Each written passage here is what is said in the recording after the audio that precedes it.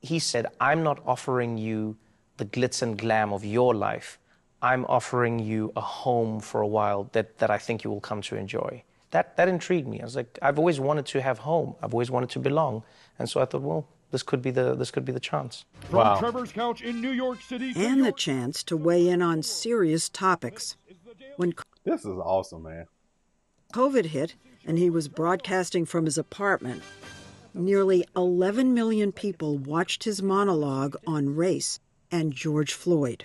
There was a black man on the ground in handcuffs, and you, you could take his life, so you did, almost knowing that there would be no ramifications. And it wasn't funny.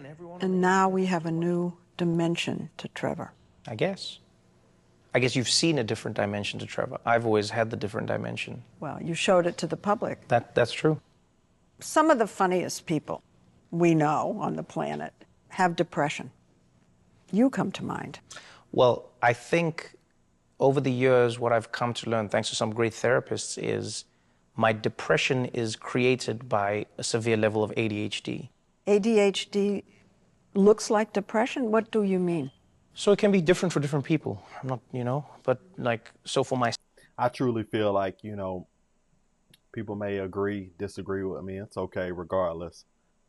I feel like a lot of times when you have everything you want on the material space, but you still have a depression, there's that little void that you're missing, and that's that God void. And when you don't have that God void, like that true God, God um, and with you, being with you, you have that little emptiness, and that's what the depression kind of will. The depression will fill into that space. So it don't matter if you got five hundred million dollars; it it won't never be good enough on the material side. So that's what I think, it because that's the commonality of people that have all they want, but they still be like down and depressed. Myself, it means that if I'm not careful in how I sleep, how I eat, how I, how I manage my routine, I can become overwhelmed and it can just feel like the whole world is just too heavy to bear.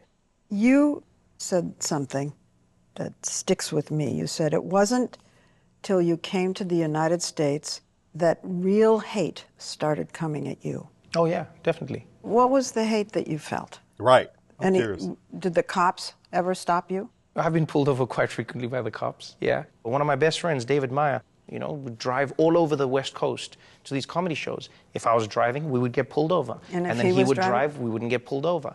But you did say you experienced. And that sucks, and that's so true too, because the officer's looking who passing, and they're deciding if they want to pull this person over versus not. You know, that's what sucks. Hey. Yes, but I mean that's that's welcome to America. You know. Oh. That's harsh. Yeah. There's a lot of hate in America because there's a lot of anger in America. How is it changing you? For me, I'm always trying to figure out how do I speak to somebody who hates me? This is where we are for now. Because of his childhood, growing up between two different worlds, he tends to see both sides of an argument. Take his reaction to the trouble his friend, comedian Dave Chappelle, got in over his Netflix special, The Closer. We blacks, we Look at the gay community. That was criticized as homophobic, transphobic, and misogynistic. In your mind, did he cross the line? Did Dave Chappelle cross the line? Yes, no. It immediately puts. That's what no, that makes. That's what makes Dave Chappelle Dave Chappelle. The line that he crossed. You know, if he wasn't, if Dave Chappelle won't cross the line, he wouldn't be who he is. You need line. We need line crossers because those are people that step out of norm and not go with the system and say that I need to do what everybody what I'm being told to do. Puts me in a position where I have to choose a side when I think that the matter is a lot more complex than that. I think everybody is defining the line for themselves. No, society defines a line. You, you see what you're saying now is you're saying society has decided.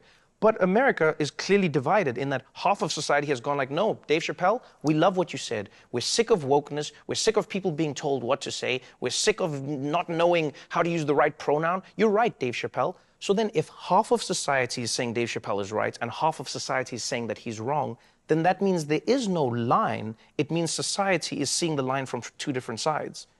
And so that's why I say you cannot say, did he cross the line? Because which side are you looking at the line from Right. defines whether or not he crossed it. I agree. Still learning I agree things on all that. the time? Yes. I agree. Well, he's had to learn about New York. City, his new home since 2015, buy an apartment here, make new friends.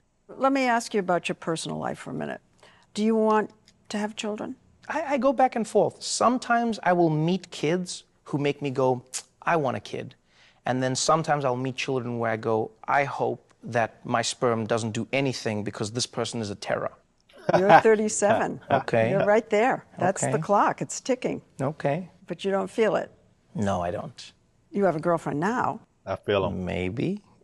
I read page six like everybody else in this world. Oh, the tabloids. You don't like to talk about your uh, girlfriends. No. What is Trevor like with his girlfriends? No. It's a trick. You don't have to answer that question. Yes, he does. Trevor introduced us to comedy producer Ryan Harduth and comedian David Kibuuka, now a supervising producer on The Daily Show. They're among his oldest friends from South Africa. Answer. You don't have to answer any questions about personal relationships. Well, who told you that? okay, what is Mitch McConnell like with his girlfriends? Do you know the answer to that question? I don't know. Exactly. Because he didn't answer it. Because they don't even ask him. And also because people don't want to know. This is what I'll say about Trevor with his girlfriends. Is that so you're just fully going ahead with Yeah. this? Of course he yes. is. Of course he is. Okay. is that he is very, very um like a great boyfriend. That's a big old pause. I hit a big old pause.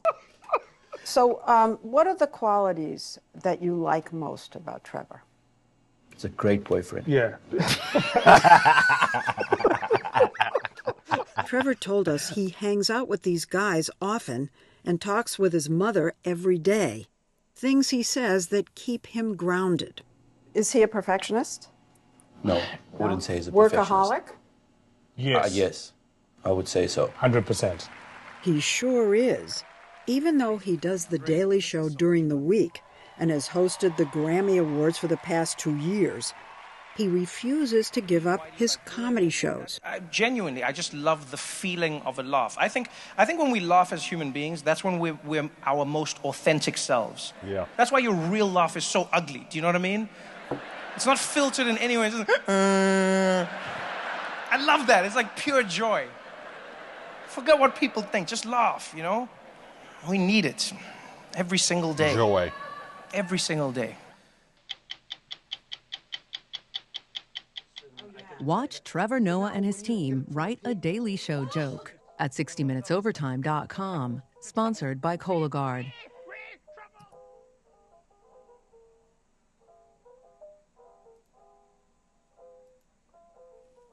All right, that was awesome, man. Little bit more education from on top of the things I already knew.